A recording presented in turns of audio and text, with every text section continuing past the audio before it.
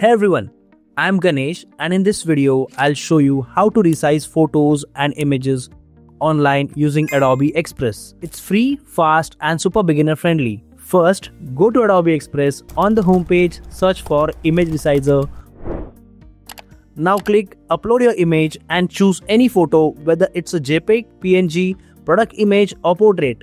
After your photo uploads, you'll see different size presets for Instagram posts, Facebook covers, YouTube thumbnails, and more. If you need a specific size, just type your own width and height in pixels. For example, you can set it to 1920 into 1080 for a YouTube thumbnail. Adobe Express also gives you control to adjust your resized image.